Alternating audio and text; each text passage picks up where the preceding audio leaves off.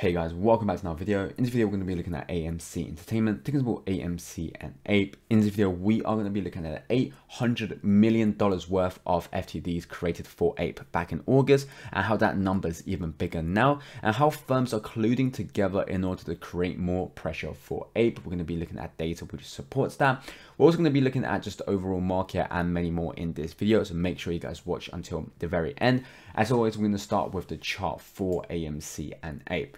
So if we take a look at AMC right now, AMC today is actually closing at a flat 0%. So there was no movement in terms of up or down in, in terms of where we closed at $8.17 again. And this is the pressure we're seeing for AMC right now. Yesterday, we saw very large volume, which took us all the way above 884, but yet we closed below it. And today, again, we tried to close in between 824 and 884 and this is what we talked about in terms of before the week even started of where we were going to see AMC and I talked about how it's very likely we're going to see the price just close below the 8, 824 area and because we're looking for that pullback towards um, kind of this 772 zone but this is what we have. And again guys make sure you watch the sunday outlet video so you make to make sure you don't miss out. But for amc right now it's very good where we closed because we actually have a week where we closed above the 772 and 762 zone. So that is a very good indication. Now of course what would have been better is if we closed between 824 and 884 now because we didn't i do strongly think that next week is going to be a contest of actually closing in between the zone of 824 and 84 so if you want to make sure what to expect and how to prepare for next week. Make sure you stay tuned for the sunday outlook video. All you have to do is click that subscribe button turn the notification bell and you'll be alerted when the sunday outlook video comes out and so for AMC, in terms of where we closed off this week, it's very, very good. We did, of course, get a halt yesterday as well, which again decreased the buy pressure, increased the sell pressure. And again, today, the indecisiveness in terms of buyers want to come in, but of course, hedge funds don't want us to, of course, bring the price up. And this is what we have with AMC, but overall, still very, very good. If we take a look at Ape on the other hand, so Ape is up 1.35%, but again, you guys can see the candle is very small. Now, the volume today is actually very, very low in comparison to the last two days where we had pretty much the third and fourth most biggest volume days for Ape. Now, we are at 1.35%, but again, I'll be showing more data later on, which talks about the increase in, of course, the FTDs, how firms are colluding with each other to create more pressure for Ape and many more. But for Ape right now, you know, we are seeing it oversold territory with the RSI below 30. We are seeing buyers come in. It did, of course, create a low at 0.9. And we did talk about the possible lowest level will be 0.88 as that is a target they want to make Ape hit. But so far, I think it's very hard to understand where ape is going as so far with the last two candles so the friday and thursday what we're seeing despite the fact that we're seeing a long wick is that buyers are coming in. Sellers aren't able to actually take control of the overall candle. We are definitely seeing them fighting the buyers but they can't take overall control of the candles. And we actually may be looking at a breakout if it continues to do so where sellers continue applying pressure but the buyers will trump that. And again hit the stop loss for these short sellers. But let's take a look at some of the news. So the first thing we have is this. Almost $800 million worth of FTDs from the 24th to the 31st of August alone, which is like 100 million shares of Ape. It's December now and it never stopped. And according to Yahoo, Ape was the most shortest stock the other day. Now, this is of course the first thing. So two things. When Ape had this amount of FTDs in, um, you know, needed to be settled and covered, Ape wasn't the number one most shortest stock on Yahoo or at all. But going in recently, and we've covered this on the channel, Ape was the most shorted stock, as you guys can see on this particular picture, um, for Ape and on Yahoo in terms of the most shorted stock. And so when you understand that, we can understand that realistically, there is more FTDs now than there was back in the 24th to the 31st of August. And if those numbers back then was looking at $800 million worth, around 100 million shares, it's very likely we are looking at an even higher amount right now. And again, that is the pressure we are seeing for Ape. And so once we are, of course, seeing AMC do well and Ape isn't doing well, I think it's because that they want people to sell off Ape because by selling off Ape, they are able to, of course, buy these FTDs, buy these shares to cover the FTDs. And in the off chance of a conversion from ape to amc they are then able to also cover the amc shares i think it's a tactic that they are using in order to push down amc because if you take a look at this from avi I pointed out to someone that I saw indications that suggested the institutions dumped their ape shares, causing ape to plummet. I think those shares were used for shorts to cover, then they continue to shorting it. I'll look more into this. So again, there is more to of course be covered, but what we're seeing here is essentially firms who originally owned ape shares, meaning that they owned AMC shares, and so of course they got ape shares, actually sold off their shares so that shorts are able to buy real existing shares in order to be covering for their shorts.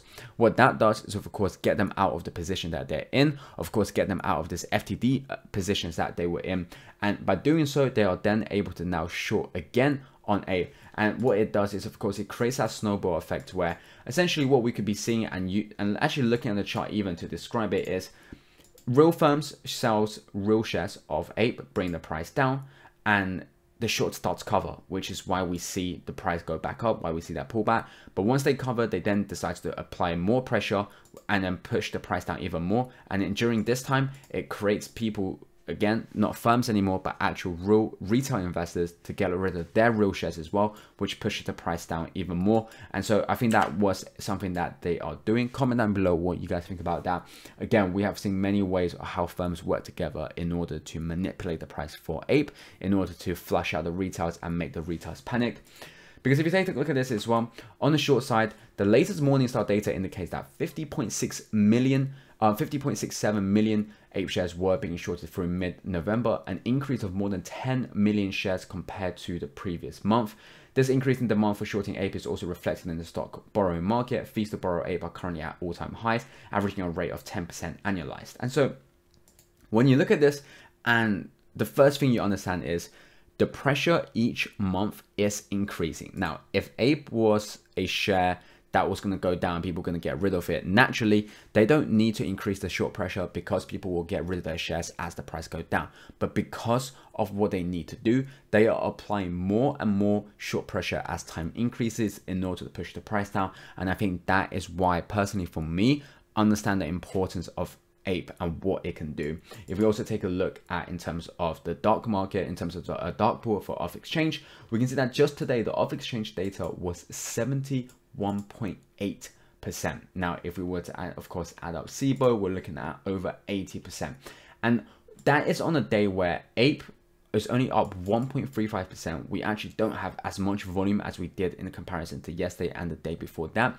But yet, what they don't want to see for Ape is that ape recover that ape breaks out that ape gets back up to that one dollar mark they're trying of course their utmost best in order to keep the price of ape below one dollar right now. To create that fear that ape is going to be useless and to create the incentive for everyone to get rid of the ape shares. And i think that is very indicate indicate very clear to indicate how you know ape is being manipulated right now in the market. If we take a look at the short to borrow uh, the cost to borrow for amc we can see that cost to borrow right now for amc along with ape is very high. For amc it's at 37.48 percent. And if, again if we take a look at amc share price today like i said we're only um with a neutral movement of 0.00%, but that is with the fact that people are trying their best right now to keep the price down. Because of the fact that the cost of borrow is so high normally with a high cost of borrow what you're seeing is people are less likely to be shorting shares. And if people are not shorting shares with people buying into amc it should naturally push the price of amc up but what we're seeing right now is of course amc price not moving up despite having buy pressure meaning that these firms are willing to pay a high amount of money in order to locate shares to then short against AMC to make sure it don't break out above certain zones. And in this case is to make sure AMC don't close in between the zones of 824 and 884 because if we are able to close in the zone, for technical analysis going into the next few weeks, it'll be very fatal for them as we're seeing a pivotal movement for AMC right now. And with AMC price going up higher and higher, it's only going to increase the cost to borrow for AMC short sellers. And again, it's only going to damage their short positions even more.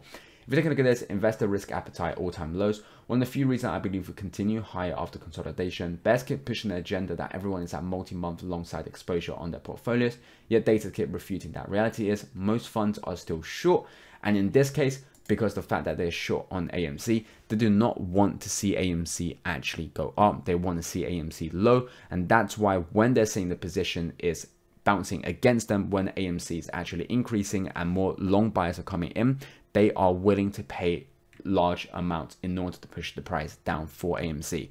Anyway, guys, comment down below what you guys think about AMC in this current situation. Comment down below what you guys are personally doing. Hope you guys enjoyed the video. If you guys did, make sure to press that like and subscribe button, and I'll catch you guys next time.